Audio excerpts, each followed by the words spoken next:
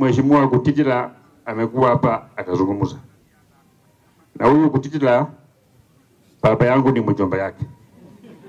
Kabla baba yangu akufe, aliniambia yule kijana Kutitila akawa na bamurama lihoni kama vita kama somia bulayi, lakini ile Kiswahili ameongea hapa, nimeona hiyo Kiswahili kama natembea, ndiye alimwandikia asome hiyo Kiswahili hiyo. Hiyo kwa Kiswahili yake, lakini ameuliza maswali mzuri sana. Amesema ati mpaka tuulize Wetangula, sababu Wetangula ako namba tatu kwa hierarchy ya wakubwa wa Kenya.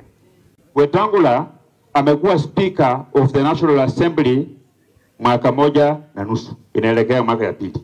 Kwa hivyo maswali yote ya Wetangula ya kutumia his position as number three in the country tutauliza yeye mwaka wa 2027 kama miaka yake tano na yangu imekwisha. Mtu ambaye anafaa kuulizwa maswali ni huyu party leader wako huyu Eugene Wamalwa. simple advice niendekhala msori wa sikile kisiasa esendiga papa wewe esenichilano hulila senichila vele uchilana nende. Didmas Baraza omusale wase ta lakini nenye musave heshima si utumwa bwana Didmas Baraza kuwa na heshima kidogo. Sababu sisi tunajua mambo yamekuwa kule Kitale. Ni siasa kama hii ya wenzetu kwenda Kitale na kushambulia gavana Natembea, kumwita majina. Hata juzi nimemwona bwana Didmas Baraza ako na TV yake anasema eti bwana Natembea amevuta bangi mingi ya Wajakoya, ndiyo sababu ameharibika kichwa. Huyu Eugene Wamalwa alikuwa waziri kwa miaka karibu ishirini. Alikuwa waziri ya Justice and Constitutional Affairs. Wakati hiyo msichana hizo ndio Nancy Barasa akafukuzwa kama umbwa, ati alijuna msichana mwingine ya masikio. Mwenye kuweka sahihi ni huyu waziri Eugene Wamalwa. Kutoka hapo akakuwa waziri wa maji. Hapa Chemkabi kuna maji. Waziri wa maji alikuwa Eugene Wamalwa.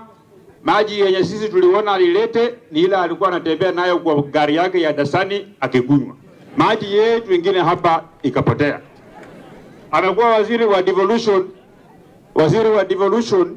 Ile tu maendeleo alileta akiwa waziri wa devolution ni kuleta devolution conference huku Kakamega, ndio yule deputy governor ya Kirinyaga akaonekana ako na msichana alikuwa sijui ya kuuza hii wasichana hao wanaopakanga vitu kwa mdomo hapo kwa lodging pale Kakamega, akakuta kama ametua logi. Hiyo ndio maendeleo peke yake huyu waziri Eugene Wamalwa alilete. Mimi nimefanya kwa serikali, nimezunguka Kenya hii, ninajua vile watu wanakaa, ninajua wakati mahali sisi tunatakana kukua and we are not there. Hatuko huko na hata ile barabara ya kutupeleka huko sakule ngine ngene yota Kenya kana kuchei tukisema hivi, kuna wengine wanakasirika. Sio wanakasirika kwa sababu gani? Wakati ile ingine kabla ya kura, iko pepo iliingia gavana wetu wa zamani, ikaingia wamwenyinyi ikaingia Eseli, wakaleta mapinduzi ya kupindua uongozi wa chama ya Ford Kenya. Wale viongozi wote ambao walileta hiyo njama ya kupindua Wetangula kwa kuwa chama ni ya Ford Kenya, saa hii wote wako nyumbani wanachunga kahawa. Sasa gavana anatembea, you are a young man. Hiyo pepe ikikuingia, wanze hiyo vita, na wewe ulikuwa regional commissioner zamani, na hiyo kazi ilichukuliwa na mtu mwingine. Sasa hii kiti yako ya gavana ya Trans Nzoia ukianguka, pengine utakuwa mtu ya kuchunga ng'ombe kwa barabara. Siko namna hiyo. Hapa ukiwa hapa kwangu, it doesn't matter the position you hold. I am the member of parliament here, hata kama wewe ni governor ya Trans Nzoia, ukipumua na roho, upumulie kwa umbali umbali, hata jirani asisikie. Huku kwangu watu wapigangi kelele hapa, mtu anapiga kelele hapa, anapiga kelele hapo. Wananchi hawa, ile heshima ambayo wamenipatia sio heshima ambayo ya bure, na mkiongea, mkiniongelesha vizuri, naweza maliza niongee, nikae pia nyinyi muongee, lakini mkifanya hiyo maneno yenu hiyo, nitamaliza alafu nitaondoka na namna hiyo na kuenda.